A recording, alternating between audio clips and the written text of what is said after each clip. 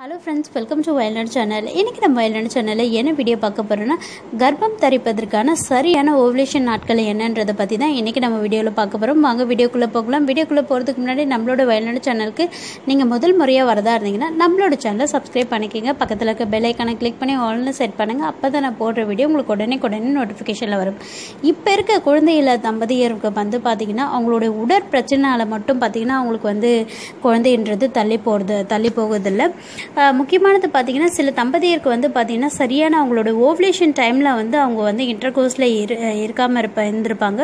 So அதனாலேயும் பார்த்தீங்கன்னா அவங்களுக்கு வந்து குழந்தையின்மை பிரச்சனை வந்து ஏற்படுது. இது வந்து அவங்களுக்கே தெரியாமல் வந்து இந்த தவறுகள் நடக்கிறது. ஸோ இந்த பிரச்சனைக்கு வந்து பார்த்தீங்கன்னா பெண்கள் அவங்களோட சரியான ஓவலேஷன் நாட்கள் என்னன்றது தெரிஞ்சுக்கிறத பற்றி தான் இன்றைக்கி நான் வந்து உங்களுக்கு கிளியராக எக்ஸ்பிளைன் பண்ண போகிறேன் பொதுவாக ஒரு பெண்ணுக்கு வந்து பார்த்திங்கன்னா இருபத்தெட்டு நாட்களுக்கு ஒரு முறை வந்து அந்த ம மாதவிட சுழற்சின்றது வந்து ஏற்படும். இது இந்த பீரியட்ஸ் வந்து பார்த்திங்கன்னா டுவெண்ட்டி எயிட் டேஸ் சரியாக இருக்க பெண்களுக்கு வந்து பார்த்திங்கன்னா கரெக்டாக அவங்களுக்கு வந்து அவங்களுடைய பதினாலாவது நாள் வந்து பார்த்திங்கன்னா ஓவலேஷன் நடைபெறும். அதாவது அவங்களுடைய கரு கருக்குழையிலேருந்து கருக்குழாயிலேருந்து பார்த்திங்கன்னா கருமுட்டை வந்து வெளிவரும். ஸோ இதுதான் வந்து ஓவலேஷன் சொல்லுவாங்க. ஸோ இந்த மாதிரி வெளிவர கருமுட்டையோட வந்து பார்த்திங்கன்னா ஆணோட விந்தணுக்குள்ளே சேரும் பொழுது தான் வந்து அது ரெண்டுமே சேர்ந்து தான் வந்து பார்த்திங்கன்னா பெண்ணோட கர்ப்பப்பையை போய் சென்றடைஞ்சு அவங்களுக்கு வந்து கரு வந்து உருவாகும் குழந்தை வந்து உருவாகும். ஆனால் சில பெண்கள் வந்து பார்த்திங்கன்னா அவங்களோட ஓவலேஷன் டைம் மற்ற நாட்களில் வந்து பார்த்திங்கன்னா அவங்க வந்து இன்டர்கோர்ஸில் இருந்திருப்பாங்க. ஸோ ஓப்லேஷன் டைமில் கரெக்டாக நம்ம வந்து இன்டர்கோர்ஸ் இருந்தால் தான் வந்து பார்த்திங்கன்னா நம்மளுக்கு சரியான விதத்தில் வந்து பார்த்திங்கன்னா குழந்தை வந்து நம்மளுடைய கர்ப்பப்பை வந்து சரியாக போய் தங்கும். அந்த மாதிரி ஓவலேஷன் டைம் என்னன்றதை வந்து தெரிஞ்சுக்கணும்னு என்னென்னா ஒரு பெண்ணு வந்து பார்த்திங்கன்னா கரெக்டாக வந்து இருபத்தெட்டு நாள் வந்து சுழற்சி ஏற்படுதுன்னா அவங்களுக்கு வந்து பார்த்திங்கன்னா அவங்களுடைய பீரியட் வந்து நான்கு இல்லை ஐந்து நாட்களுக்குள்ளே வந்து பார்த்திங்கன்னா அவங்களுக்கு வந்து கருமுட்டைகள் வந்து வளர ஆரம்பிச்சிருக்கும்.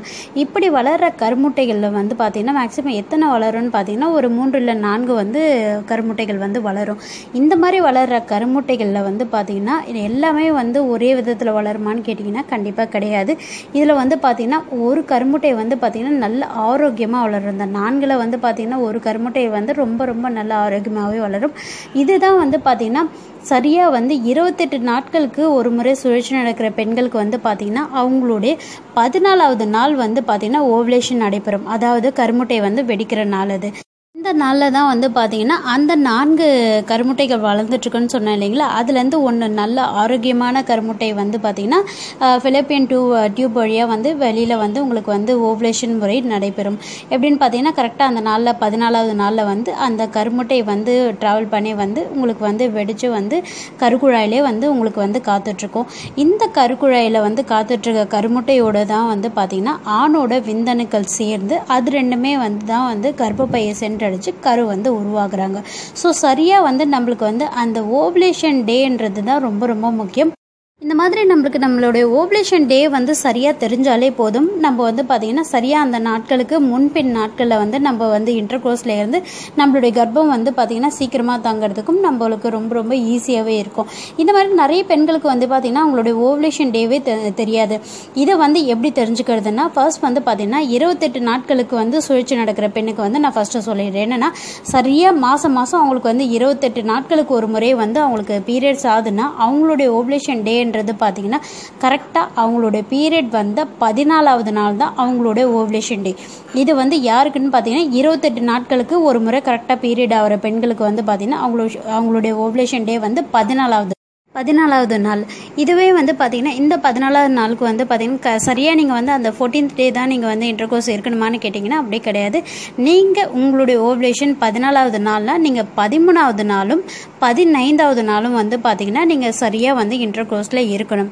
ஸோ இந்த மாதிரி இன்டர் கோர்ஸில் இருந்தீங்கன்னா கண்டிப்பாக உங்களுக்கு வந்து பார்த்திங்கன்னா நீங்கள் கன்சீவ் ஆகிறதுக்கு சான்சஸ் ஹண்ட்ரட் பர்சன்ட் இருக்குது அது என்ன முன் பெண் அந்த நாட்கள் மட்டும் முக்கியம்னு கேட்டிங்கன்னா பெண்ணோட கருமுட்டை வெளி வந்து வர்றது பார்த்தீங்கன்னா ஒரு நாள் தான் வந்து உயிரோடு இருக்கும். ஸோ அதோட வேலிடிட்டி பார்த்தீங்கன்னா ஒரு நாள் தான். ஸோ அதனால தான் வந்து பார்த்தீங்கன்னா நீங்கள் முன்பின் ப பதிமூணாவது நாளும் பதினஞ்சாவது நாளும் இருந்தீங்கன்னா உங்களுக்கு வந்து உங்களுடைய இன்டர்கோர்ஸ்க்கும் உங்களுடைய க சரியான நாட்களுக்கும் வந்து பார்த்திங்கன்னா கர்ப்பம் தரிக்கிறதுக்கு சரியாக இருக்கும். இது வந்து இருபத்தெட்டு நாட்களுக்கு சுழற்சி நடக்கிற பெண்களுக்கு.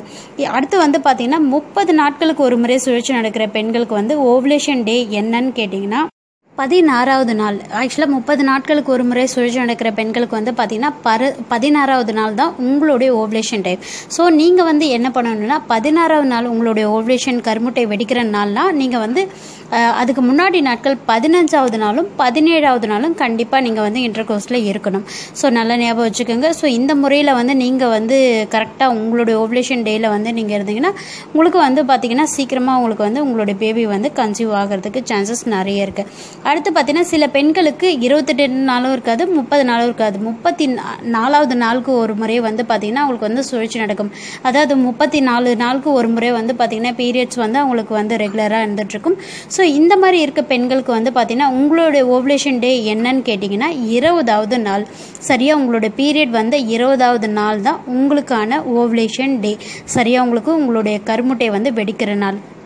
நீங்கள் வந்து பார்த்தீங்கன்னா எந்த நாட்களில் வந்து நீங்கள் வந்து இன்டர் கோர்ஸில் கணவர் கூட வந்து இன்டர் கோர்ஸில் இருக்கணும்னு கேட்டிங்கன்னா இருபதுனா நீங்கள் வந்து பத்தொன்பதும் இருபத்தி ஒன்றும் நீங்கள் வந்து ச இன்டர் கோர்ஸில் வந்து இருக்கணும். ஸோ இந்த மாதிரி இன்டர் கோர்ஸில் இருந்தீங்கன்னா உங்களுக்கு வந்து பார்த்தீங்கன்னா உங்களுடைய பேபி வந்து சீக்கிரமாக கன்சீவ் ஆகிறதுக்கு சான்சஸ் நிறைய இருக்குது ஸோ நல்லா நல்லா ஞாபகம் வச்சுங்க. இருபத்தெட்டு நாட்களுக்கு ஒரு முறை இருக்கவங்களும் முப்பது நாட்களுக்கு ஒரு முறை இருக்கவங்களும் முப்பத்தி நாலு நாட்களுக்கு ஒரு முறை இருக்கவங்களும் பார்த்தீங்கன்னா உங்களுடைய ஓவலேஷன் டேவை வந்து சரியான டைமில் நீங்கள் நீங்கள் வந்து இன்டர் கோர்ஸில் இருந்தீங்கன்னா உங்களோட பேபி வந்து கண்டிப்பாக நிச்சயம் நிச்சயம் உங்களுக்கு வந்து கண்டிப்பாக பேபி வந்து தங்கும். ஸோ இதை வந்து நீங்கள் ஃபாலோ பண்ணுங்கள் உங்களுடைய ஓவலேஷன் டேவை வந்து நீங்கள் சரியாக பீரியட் வந்த நாள் கரெக்டாக குறிச்சிட்டு இது வந்து பார்த்தீங்கன்னா கரெக்டாக உங்களுக்கு நீங்கள் லாஸ்ட் ஒரு மூணு மாதத்தை நீங்கள் கேல்குலேட் எடுத்துக்கோங்க எப்போவுமே வந்து. லாஸ்ட் மூணு மாதம் வந்து சரியாக உங்களுக்கு இருபத்தெட்டு நாள் இருபத்தெட்டு நாள் இருபத்தெட்டு நாளுக்கு ஒரு முறை நடக்குதுன்னா கண்டிப்பாக நீங்கள் இதை ட்ரை பண்ணுங்கள் உங்களுடைய ஓவலேஷன் டைமில் வந்து நீங்கள் வந்து இன்டர்கோர்ஸில் இருங்க. உங்களுடைய பேபி வந்து கண்டிப்பாக உங்களுக்கு கன்ஃபார்ம் ஆகும். சில பெண்களுக்கு வந்து பார்த்தீங்கன்னா இர்ரெகுலர் பீரியட்ஸ் இருக்க பெண்களுக்கு வந்து நாங்கள் எப்படி மேடம் ஓவலேஷன் டைம் வந்து கால்குலேட் பண்ணோன்னு உங்களுக்கு வந்து டவுட் இருந்ததுன்னா உங்களுக்கான வீடியோ வந்து நான் அடுத்ததில் வந்து சொல்கிறேன் இதை பற்றின டீட்டெயில்ஸ் வந்து நான் அடுத்து சொல்கிறேன் ஓகே ஃப்ரெண்ட்ஸ் நான் சொன்ன இந்த இன்ஃபர்மேஷன் கண்டிப்பாக உங்களுக்கு யூஸ்ஃபுல்லாக இருந்திருக்கும். இந்த வீடியோ உங்களுக்கு பிடிச்சிருந்தால் லைக் பண்ணுங்கள் கமெண்ட் பண்ணுங்கள் ஷேர் பண்ணுங்கள் நம்மளோட வயல்நாடு சேனலை அப்படியே சப்ஸ்கிரைப் பண்ணிக்கோங்க. தேங்க்யூ